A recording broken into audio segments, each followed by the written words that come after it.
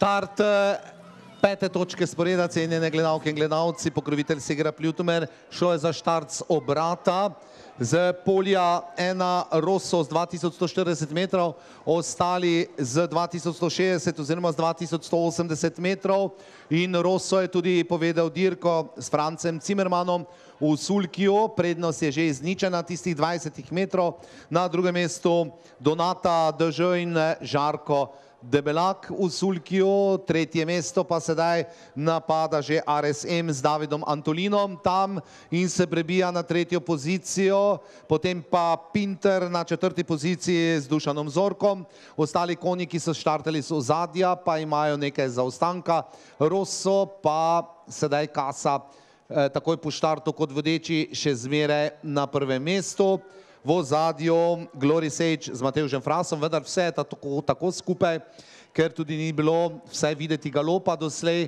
da je vsa osmerica popolnoma skupaj.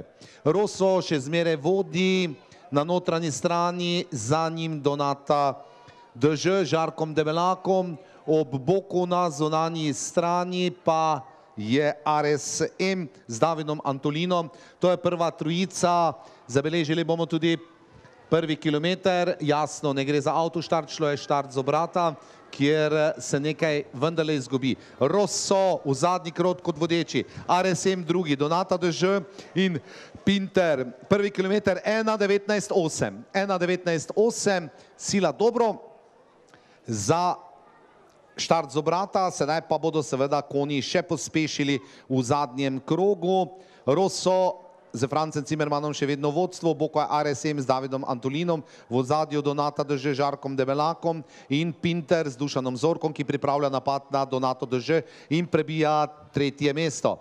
V ozadju vsi tudi pričakujejo napad, sedaj zadnje mesto drži Devejo Fnando z Milanom Žanom, ki ne more slediti temu tempu. Rosso pa še letos ni slavil v lanski sezoni prva zmaga ali RSM, ki je zmagal.